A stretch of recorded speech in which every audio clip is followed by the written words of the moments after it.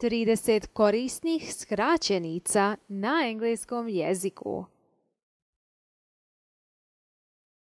Pod 1. LOL. LOL zapravo znači laugh out loud, odnosno kada to nekome napišete, želite da im kažete da se zapravo smijete na glas. Dakle, LOL, laugh out loud. Pod 2. BRB. BRB zapravo znači be right back, a be right back na našem jeziku znači odmah se vraćam ili odmah ću se vratiti. Dakle, BRB zapravo znači be right back. Pod 3.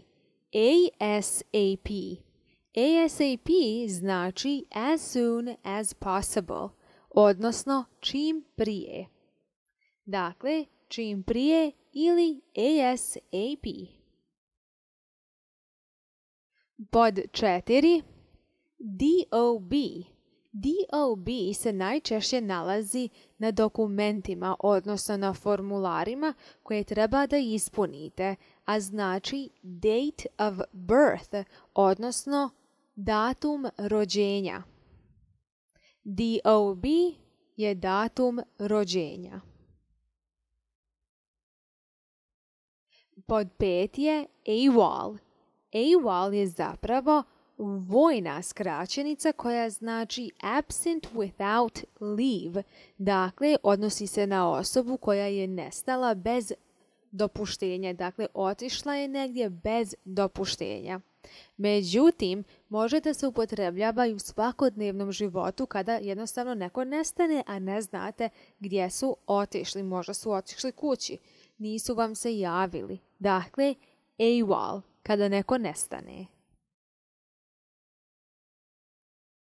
Pod 6. BO. BO ili body odor odnosi se na neprijatne mirise tijela. BO, odnosno body odor. Pod 7. BTW ili by the way, a by the way znači u ostalom ili između ostalog. Dakle, BTW, by the way. Pod 8. DIY. DIY zapravo znači, odnosno skraćenica je za do it yourself, odnosno odnosi se na ono što vi zapravo sami možete da radite ili da popravite nešto ili da sami napravite nešto. Dakle, DIY, do it yourself. Pod 9. FYI. Dakle, FYI je zapravo skraćenica za for your information, odnosno za vaše informacije. Ili kada nekome želite nešto da kažete i onda kažete for your information. FYI.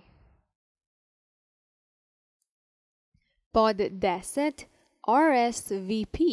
Dakle, RSVP je zapravo izvedeno iz francuskog jezika, a na engleskom jeziku znači please reply. Molimo vas, odgovorite odnosi se na to da ste vi pozvali nekoga na rođendan ili na svadbu i treba da vam te osobe, odnosno osobe koje ste vi pozvali, da vam odgovore da li će da dođu, da li će da prisustvuju, kako biste se vi mogli bolje izorganizovati. Dakle, RSVP, please reply. Molimo vas odgovorite, da li dolazite ili ne. Pod 11. ETA. ETA je zapravo skraćenica za Estimated Time of Arrival. Odnosi se na procjenu preostalog vremena, na primjer kada nešto skidate s interneta ili kada očekujete nečiji dolazak. Dakle, ETA, Estimated Time of Arrival. Pod 12. FAQ. FAQ je skraćenica za Frequently Asked Questions, odnosno često postavljena pitanja. FAQ, Frequently Asked Questions. Pod 13. ATM. ATM je skraćenica za Automated Teller Machine, odnosno za bankomat. Dakle, ATM, bankomat. Pod 14. TBA. TBA, to be announced. Dakle, odnosi se na nešto što će tek biti najavljeno. Dakle, TBA. Biće nešto najavljeno. Pod 15. ESL. ESL, English as a Second Language. Engleski kao drugi jezik. Odnosi se na one osobe koje su se tek doselile na englesko govorno područje i tu uče engleski jezik. Dakle, svakodnevno su okruženi tim jezikom. ESL, English as a Second Language. Pod 16. EFL.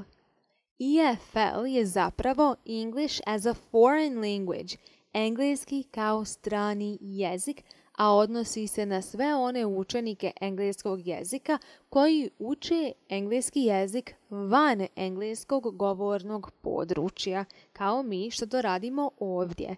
Dakle, EFL, English as a Second Language. Pod 17. ID. ID je skraćeno za identification, odnosno najčešće se upotrebljava za ličnu kartu i naravno to je vrsta identifikacije. Dakle, ID, lična karta, odnosno identification. Pod 18. MIA. MIA je također vojni termin, odnosno vojna skraćenica koja zapravo znači missing in action, odnosno odnosi se na osobu koja je nestala tokom akcije. Međutim, može da se odnosi i na svakodnevni život kada također neko nestane, jednostavno ode, a nikome se ne javi. Dakle, he is MIA. On je nestao, otišao, ne znam gdje je otišao, nije se javio. 19. IMO. IMO, in my opinion. Dakle, in my opinion znači po mom mišljenju. Dakle, IMO, in my opinion. 20. OMG. OMG, oh my gosh. Ili Bože. Dakle, OMG, oh my gosh. Pod 21 i svi znamo šta ovo znači VIP, very important person, odnosno veoma važna osoba. VIP. Pod 22 YOLO. YOLO, you only live once. Dakle, samo se jednom živi. YOLO, samo se jednom živi ili samo jednom živiš. Pod 23, kada se želite nekome da zahvalite, onda to možete tako što ćete u poruci napisati TY, odnosno thank you. To je skraćenica za hvala, za thank you. 24. EG. EG je zapravo skraćenica za example given, odnosno na primjer. Dakle, imate ispod primjer, e.g. i onda ide primjer nečega. 25. ETC. ETC najčešće pisano malim slovima naravno, kao i prethodni primjer, a ETC zapravo znači etc. Dakle, etc. na našem jeziku je i tako dalje. Dakle, ETC i tako dalje. 26. VS versus, odnosno protiv. Dakle, neko protiv nekoga. Someone versus someone. 27. Temp. Temp je skraćenica za temperature, odnosno za temperaturu. Temp, temperatura. 28. Mr. Mr je Mr, odnosno gospodin. 29 se odnosi na ženu koja je u zakonskom braku, a to je Mrs. Mrs. MRS. Mrs. odnosno gospođa.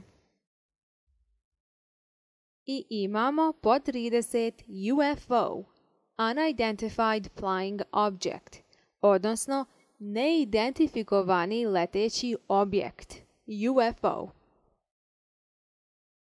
I to bi bilo to. Nemojte zaboraviti da nas preporučite vašim prijateljima, da kliknete na crveno dugme subscribe, kao i na malo zvono pored toga kako biste dobijali obavještenja o svim našim novim objavama. Hvala!